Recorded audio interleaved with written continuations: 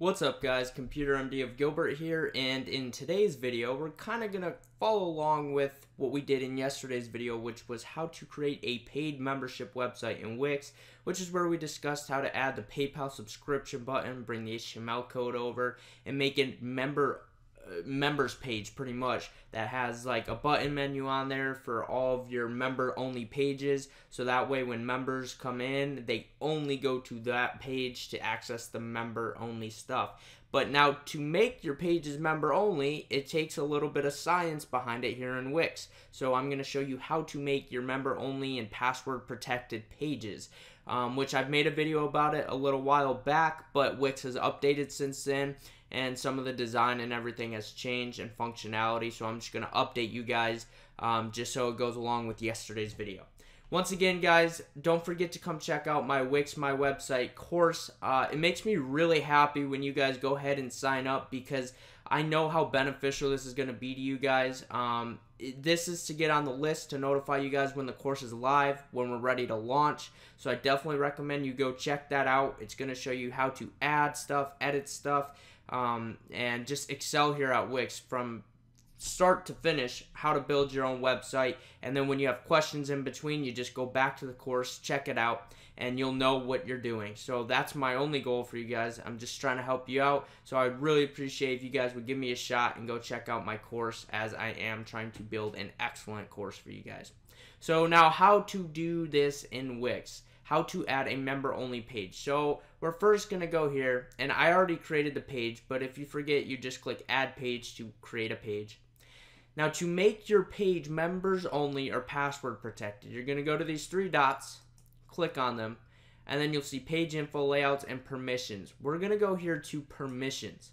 Once you get into permissions, you'll see a few options. You'll see no restrictions, so this means anybody on your website who comes to the website can check it out you'll see password protection. So on this one, visitors would have to use a password to view this page, and you would choose the password typing it in right here.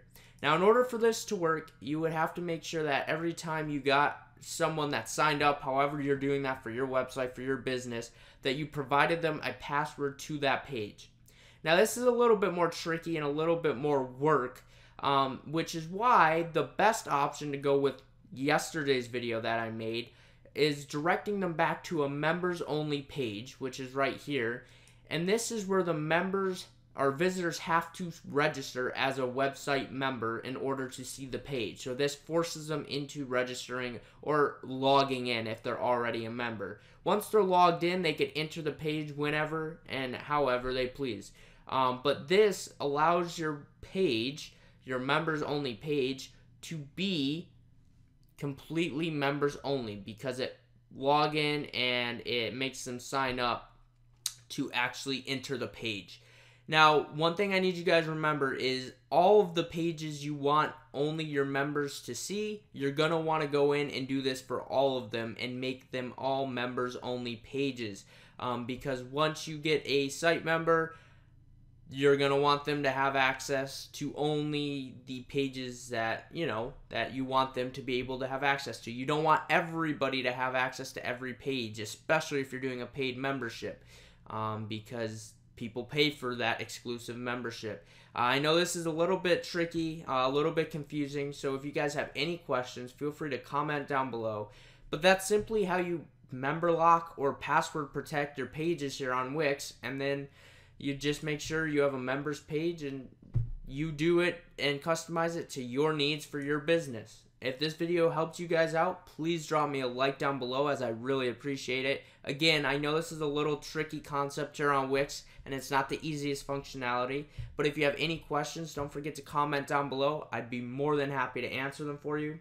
And then finally, subscribe to me here on Computer MD of Gilbert here on YouTube because it makes me happy, helps us grow. And like I said in the last video, everybody loves growth, which is why, and leading me into this, I'm trying to grow here, uh, my audience, trying to teach you guys and help you grow, which is why I've created this Wix My Website course, or I should say in creation. Um, I'm currently creating it this is to help you guys out. If you're watching this video, that means you're watching a Wix tutorial, which means already you can benefit from this course. So if you go to wixmywebsite.com, link in the description below, and check it out, I would really appreciate it. And let's grow together, guys. Let's just get better together and grow together. And I want to help you and hold your hand and stand by you when you're creating your first or updating or creating a Wix website. So guys, that's it for this video. Thanks for spending just a couple minutes with me, and I look forward to seeing you guys and talking to you on the next one. Adios.